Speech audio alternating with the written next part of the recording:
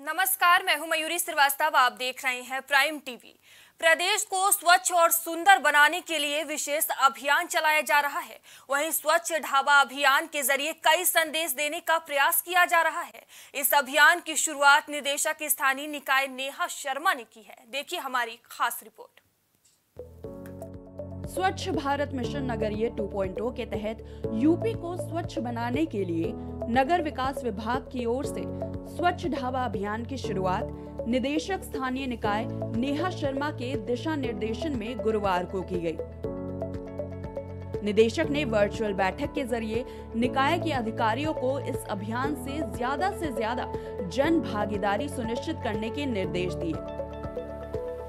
निदेशक नेहा शर्मा ने कहा कि शासन के निर्देश पर प्रदेश के सभी सात सौ बासठ निकायों में स्वच्छ भारत 12 जनवरी तक चलने वाले स्वच्छ ढाबा अभियान की शुरुआत गुरुवार को की गई। इस अभियान के तहत मुख्य मार्गों पर संचालित ढाबा अथवा रेस्टोरेंट से प्रतिदिन भारी मात्रा में निकलने वाले अपशिष्ट को वैज्ञानिक विधि से स्वतः निस्तारित करने के प्रति प्रेरित किया जाएगा।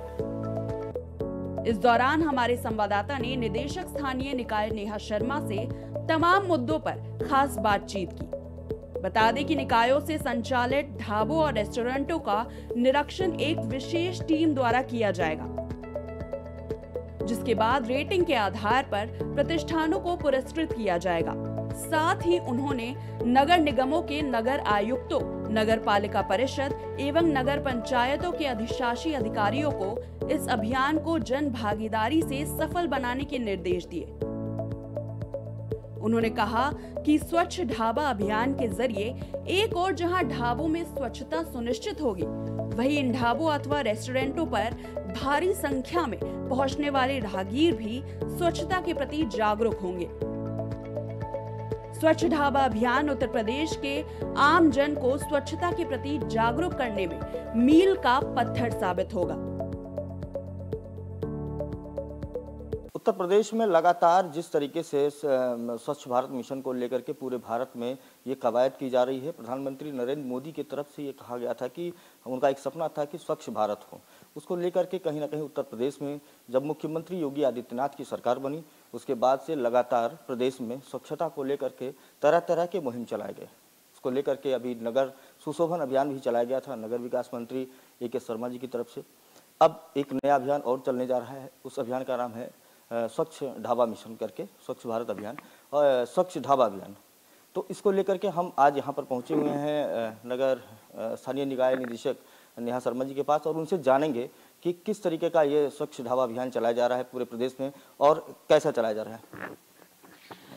देखिए, ये जो स्वच्छ भारत मिशन नगरीय है इसमें बहुत सारे, जैसा आपने बताया कि बहुत सारे हम लोग मुहिम जो है लगातार चलाते रहें। पीछे कुछ दिवसों पूर्व एक गार्बेज वलनरेबल पॉइंट्स को रिमूव करने की एक मुहिम चली थी। उसको नगर सुशोभन अभियान में आगे बढ़ाया गया था। इसी क्रम में इस वर्ष की जो पहली नववर्ष की जो पहली वो थी, पहला जो ट्रांच था, उसमें हम लोगों ने डिसाइड किया कि क्यों ना हमारे जो ईटिंग जॉइंट्स हैं, जो रेस्टोरेंट्स हैं, जो निकाय क्षेत्र में हैं उनको एक परिधि बनाते हुए स्वच्छ ढाबा का एक कॉन्सेप्ट लाया और इस कॉन्सेप्ट के भीतर हम लोग ये देखने का प्रयास कर रहे हैं कि जो लोग वहाँ पहुँचते हैं, क्या वे सब वेस्ट मैनेजमेंट टेक्निक से मुखातिब हैं? जो ढाबे हैं, जो संचालक हैं, वे सोर्स सेग्रीगेशन जैसी बातों को समझ रखते हैं या नहीं रखते हैं? कचरा जो है उसका उत्सर्जन सभी करते हैं, लेकिन उसका निस्तारण क्या हम सब करने के लिए इक्विप्ड हैं या नहीं है?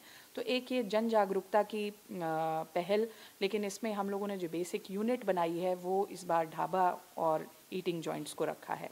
उनमें ये काम आगे बढ़ाने का प्रयास है। मैम, किस तरीके से इसको देखा जा सकता है? जैसे कि लगातार पूरे प्रदेश में स्वच्छता को लेकर के अभियान चला जा रहा था, अभी नगर सुशोभन अभियान भी चलाया गया। अब आपका स्वच्छ ढाबा अभियान चल रहा है तो इससे कहाँ तक पूरी जनता में अवेयरनेस आएगी, बच्चों में अवेयरनेस आएगी, किस तरीके से आना है? देखिए, ये पूरा जो अभियान है नेचुरली जन भागीदारी का पूरा अभियान है। स्वच्छ भारत मिशन बिना जन सहभागिता के ये मिशन अपनी जो इसकी एक हाइट अटेन कर सकता है, उसमें ये विफल हो जाएगा अगर जन सहभागिता ना हो। तो हर हम लोग जो अवेयरनेस कैंपेन्स चलाते हैं, उस कैंपेन में हमारा स्टेक होल्डर ग्रुप कई बार अलग अलग होता है। कई बार हम स्टूडेंट्स के साथ में काम करते हैं, महिलाओं के साथ में काम करते हैं। डोर टू डोर है तो हाउस होल्ड यूनिट होती है। बल्क वेस्ट जनरेटर्स हैं तो ईटिंग जॉइंट्स पर अब हम लोग काम कर रहे हैं। आगे भी हम लोग कुछ और प्लानिंग कर रहे हैं कि स्वच्छ विरासत जैसे कुछ कैंपेन्स प्लान कर रहे हैं।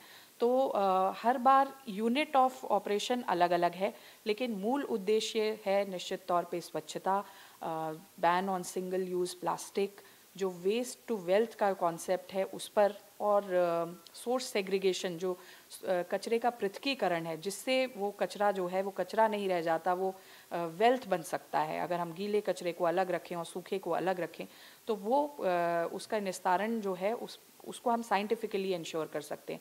इन बातों को हम अलग अलग तरीके से कहकर ही और जनमानस की सहभागिता से ही इस पूरे कॉन्सेप्ट को आगे ले जाना चाहते हैं। और आपके माध्यम से मैं आउटरीच भी चाहूँगी कि लोगों के बीच में हो और इस अलग को लोग आगे ले जाने का काम करें।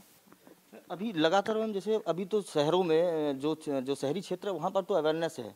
ग्रामीण क्षेत्रों के लिए क्या कहना चाहिए? क्योंकि ग्रामीणों में अभी तक वो अवेयरनेस नहीं फैल पा रही अभी भी वहाँ भी समस्याएँ बनी हुई हैं।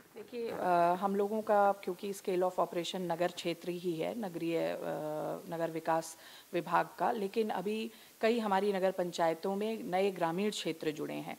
तो उन जगहों पर निश्चित तौर पर क्योंकि ग्रामीण परिवेश में अलग परिस्थितियाँ होती हैं तो वहाँ आईईसी कैंपेन की और इंटेंसिव एक्सरसाइज की आवश्यकता है। और इस बार जो ढाबा अभियान है, इसमें तो हम उन सारे रोड साइड ईटरीज को भी टेकअप करेंगे और ख़ास तौर पे शहर के बीच में या छोटे कस्बों में भी जो ईटिंग जॉइंट्स होते हैं, जहाँ पर बस स्टैंड है, जहाँ मुख्य चौराहे हैं, वहाँ पर ऐसे बहुत फुटफॉल होता है जहाँ ग्रामीण परिवेश के लोग भी आते जाते हैं। तो निश्चित तौर पे मुझे लगता है एक जो मेन फोकस एरिया रखा गया है कि ये स्वच्छता की अलग ढाबों के माध्यम से ही सही, लेकिन इसका जो इसका जो इफ़ेक्ट है वो ग्रामीण परिवेश में भी देखने को मिलेगा, लोगों के बीच में अवेयरनेस निश्चित तौर पे हर जगह देखने को मिलेगी। ये सबसे बड़ी बात है कि स्वच्छ, ये जो ढाबा मिशन चलाया जा रहा है, अभी जो लखनऊ के जो रेस्टोरेंट्स हैं, उन पर किस तरीके से प्रभावी कार्य किया जाएगा? क्या उन पर कोई कार्रवाई भी होगी या किस तरीके का ये रहेगा थोड़ा संक्षिप्त एक ये स्टेज में हम लोग काम कर रहे हैं। पाँच से बारह जनवरी के बीच में अवेयरनेस ड्राइव है, जिसमें हम लोग हर ढाबे में हमारे जो ऑफिशियल्स हैं, हमारा जो एक एसबीएम का टीम है और जो सी हमसे जुड़ेंगे उनके माध्यम से इस अवेयरनेस कैंपेन में बताया जाएगा कि कचरे को किस तरह से आपको पृथकीकरण करना है। लेकिन आगे क्योंकि ये इसकी एक निरंतरता और स्थिरता, इस रख रखाव इस व्यवस्था को एक परमानेंस देने के लिए इसमें हम लोगों ने इसको करीब डेढ़ दो माह के लिए रखा है। और एक हम लोग कॉन्सेप्ट लेके आए हैं कि ढाबों की रैंकिंग भी की जाए। तो one star rating three star rating और फाइव स्टार रेटिंग का एक कॉन्सेप्ट लेके आए हैं। जो वन स्टार रेटिंग में ढाबों में एक बेसिक मिनिमम फैसिलिटी टॉयलेट की उपलब्धता और वेस्ट सेग्रीगेशन हो रहा है। थ्री स्टार वैसे ढाबे हैं जहाँ पर जो वेस्ट वो जनित कर रहे हैं, उसको ठीक तरह से प्रोसेस कर रहे हैं। और जब हम फाइव स्टार की बात कर रहे हैं तो वो ऐसे ईटिंग जॉइंट्स हैं जहाँ पर वो कुछ वेस्ट प्रोडक्ट को रिसाइकल भी कर रहे हैं, उसका रीयूज़ करते हुए दिख रहे हैं। तो एक ये कॉन्सेप्ट से एक हेल्दी प्रतिस्पर्धा और प्रति हेल्दी कंपटीशन की भी बात हम लोग ने रखी है। और निश्चित तौर पे जब एक हेल्दी प्रतिस्पर्धा का माहौल मिलता है तो लोग इसमें बढ़ चढ़ कर हिस्सा लेते हैं। आखिरी सवाल एक और। आप स्वच्छ भारत मिशन के निदेशक भी हैं तो आप क्या संदेश देना चाहेंगे पूरे प्रदेशवासियों को? मैं यही कहना चाहूँगी कि ये स्वच्छ भारत मिशन जो है, ये माननीय प्रधानमंत्री जी, माननीय मुख्यमंत्री जी, नगर विकास मंत्री जी का ही मिशन नहीं है। सबने ये हमारे राष्ट्रपिता बापू का एक सपना था कि एक स्वस्थ भारत, स्वच्छ भारत जो हो, उसकी नींव एक स्वच्छ भारत मिशन जैसे मिशन से ही हो सकती है। लेकिन इस मिशन में जन सहभागिता और जन भागीदारी जो है, उसको इंश्योर करें तो निश्चित हम इस अच्छे आयाम पर पहुँच सकते हैं और हमारे प्रदेश की ख्याति जो है, वो जब सब जगह पर इसकी ख्याति फैलेगी। बहुत बहुत धन्यवाद आपका। अभी हमारे साथ बात कर रही थी स्थानीय नगरीय निकाय के निदेशक नेहा शर्मा जी। उन्होंने साफ़ तौर पर यह कहा है कि जिस तरीके से उत्तर प्रदेश में स्वच्छता को लेकर के सार्थक कदम उठाए जा रहे हैं, वो कहीं ना कहीं काबिल तारीफ़ है। और अब जो इस समय जो अभियान चलाया जा रहा है, वो अभियान स्वच्छ ढाबा अभियान है, जिसमें पूरे उत्तर प्रदेश में सभी अधिष्ठानों को चिन्हित किया जाएगा और वहाँ पर उनको देखा जाएगा किस तरीके के उनके ढाबों पर व्यवस्थाएँ की गई हैं, उनके रैंकिंग के आधार पर, उनके साफ़ सफ़ाई के आधार पर, उस पर ज़ोर दिया जाएगा और उन्हें रैंकिंग के आधार पर सर्टिफिकेट भी देने की भी बात कही जा रही अब ये आने वाले समय में पता चलेगा कि किस तरीके का ये कार्य किया जा रहा है। नगर निकाय निदेशक हमारे साथ अभी बात कर रही थी। ध्यान शर्मा जी, उनको बहुत बहुत धन्यवाद। देखते रहिए प्राइम टीवी लखनऊ। हमारी खास रिपोर्ट में इतना ही। देश दुनिया की तमाम खबरों के लिए देखते रहिए प्राइम टीवी। कुछ भाव पुष्प। आप देख रहे हैं प्राइम टीवी सच साहस सरोकार।